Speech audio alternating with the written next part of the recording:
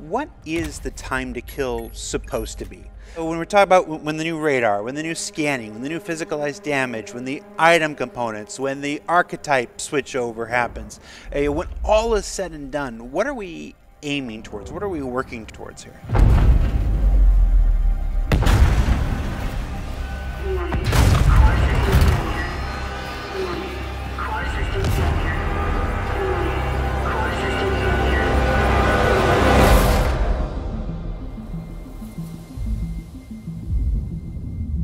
What you just saw, unfortunately, is still not possible in Star Citizen. But there are many systems like engineering, components, armor, and physicalized damage that will make this all possible at some point. With 3.18, the game has taken a step closer to that goal. From now on, players will always have the chance to disable and board ships that they're fighting against. And while this seems focused on piracy or bounty hunting, there are actually quite a few ways it can be applied.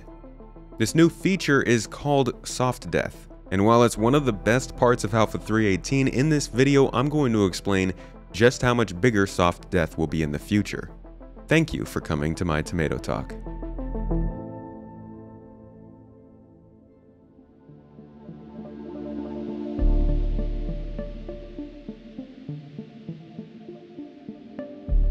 Soft death is basically a ship state reached when a critical component inside of a ship is destroyed. This is a separate state of destruction from your ship blowing up. Now before your ship dies, it will enter a disabled state in which it can be boarded and cargo can be taken. But things like gravity, MFDs, weapons, engines, and thrusters will no longer function. This can lead to some very immersive experiences at times when you just don't really expect it.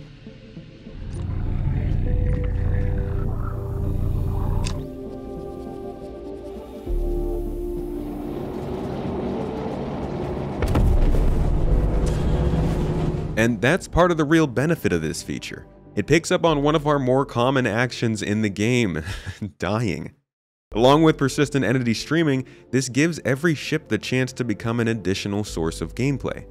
From explorers and looters looking for a cool find, to salvagers trying out new functions in their cutting tools, to pirates looking to take some minerals from the local trader. This feature addition was a huge step towards a persistent universe that informs players of each other's actions, both past and present, and lets them act on them. It's also important to remember this is not just a player-focused addition, this is something that applies to every ship in the game, no matter who's flying. And already devs at the studio are looking into ways this mechanic can be built into missions going forward, requiring players to maybe investigate or retrieve something from their targets after taking them out.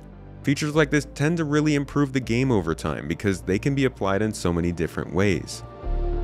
Now in theory, it is a really cool feature, and I can report that it can be pretty cool at times, but it could be improved. Now as I mentioned, this is only a move towards the actual goal for ships of physicalized damage, which would ultimately lead to the fully simulated destruction of a ship, leaving it disabled and floating rather than blowing up.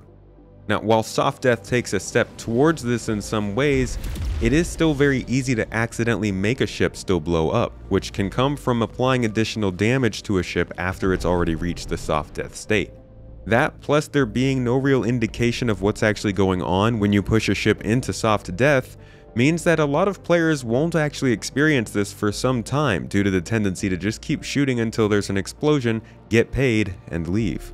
And even if you aren't noticing those changes, because of the effects of these changes on the value of actual cargo in your ship, and especially with the next cargo refactor coming in bringing ship tractor beams with it, it's going to be much more important for players to start joining groups and taking escorts, because piracy will only continue to get more lucrative. It's key to remember that lawful and unlawful players and NPCs will all be populating the same spaces in this game. While Pyro is still on the horizon and reputation and security changes are lagging behind these game system updates, it's really going to come down to the players to decide how we handle the interactions between those two sides of the law.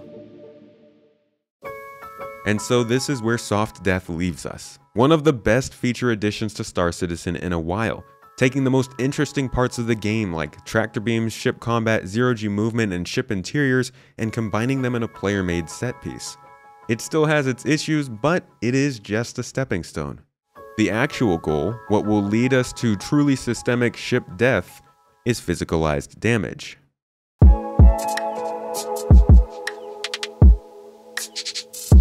All right, let's let's go to another easy one. Physicalized damage. Physicalized damage. Physicalized damage. Physicalized damage. Physicalized damage. Physicalized damage. Physicalized damage. Physical damage. Physicalized damage. Physicalized damage is kinda like persistent entity streaming, server meshing, or actor status system. A bunch of words that make sense combined in a way that may be less so. And it might sound like marketing speak, but it's actually a pretty nice feature. It is the physics-based damage system that will determine how any two items will interact with one another. Bullets to a ship hull, a claw to a ship hull, a bomb to a ship hull. Lots of things in ship hulls. They're going to be colliding and using this system. But also sniper bullets, cargo boxes, player armor, the scrap you salvage, and everything else that might bump into something else in the game will be determined by materials and the forces applied to them. But where is it? Well, the physics team is working on it, according to the last two years of video updates. Uh, it's it's being worked on by the physics team at the moment. Um, physics guys are still working on it. They've And if you look at the progress tracker, you can indeed see the physics team was there, working on it for two years. But now, who knows? I can say when it is eventually applied, it will be done slowly, with only a small amount of ships at first, likely how the resource network will also be worked in. but we're already having discussion internally on what that means.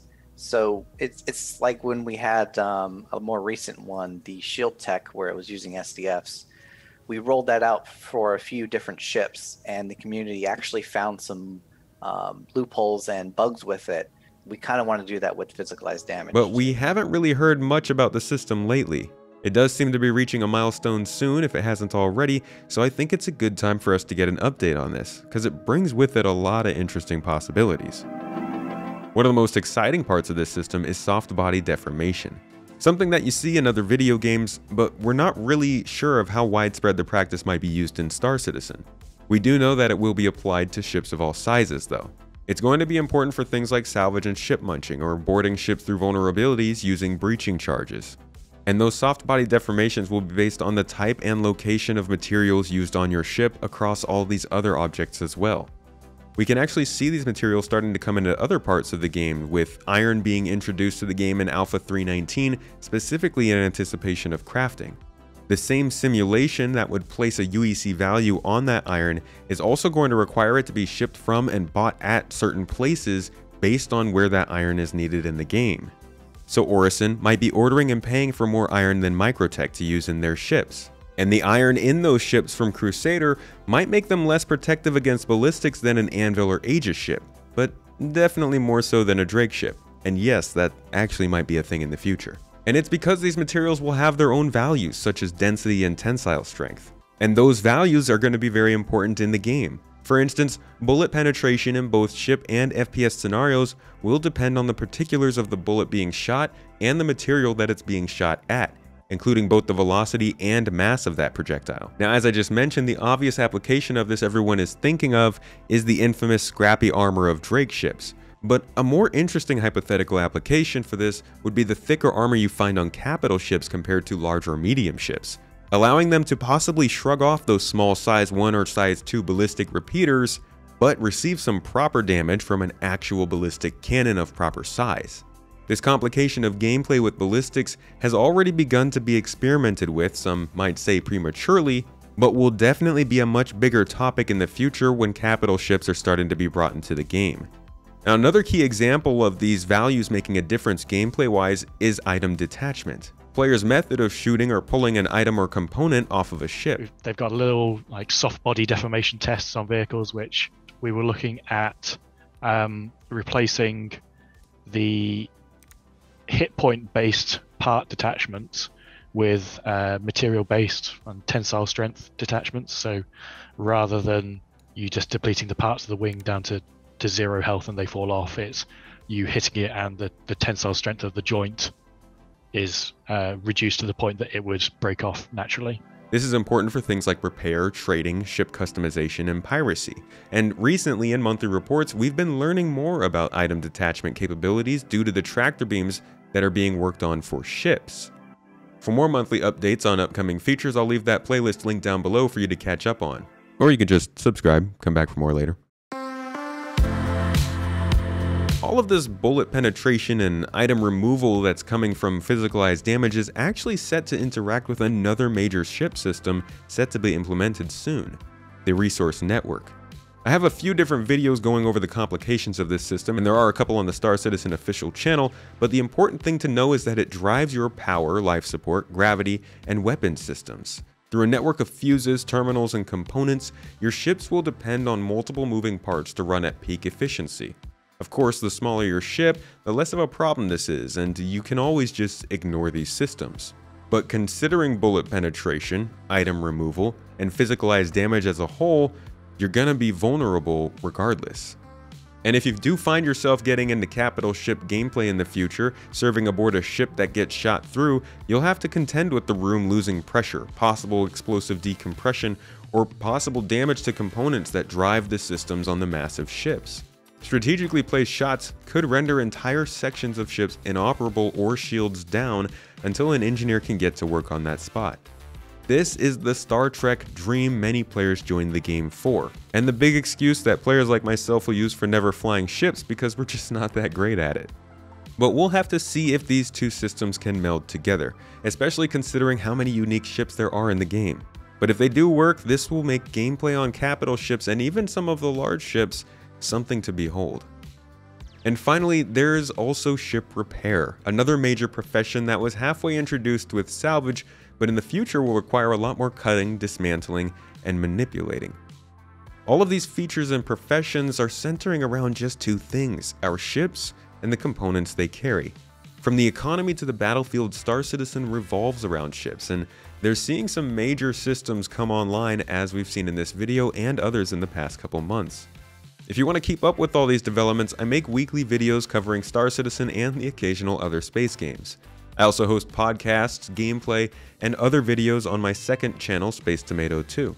And before you go, this channel is about to reach 50,000 subscribers. We want to say thanks and throw another giveaway to gift out two copies of the game with one of two Drake ships, the Cutlass or the Cutter, both supplied by CIG. All you have to do to enter is subscribe and hit the link below for additional options. On top of that, as always, I'll be hiding extra codes throughout my videos that can give you more points towards the giveaway. There will be two winners and they'll be announced the day after we hit 50k. Whether you enter or not, I hope you learned something in this video, and I'll catch you in the next.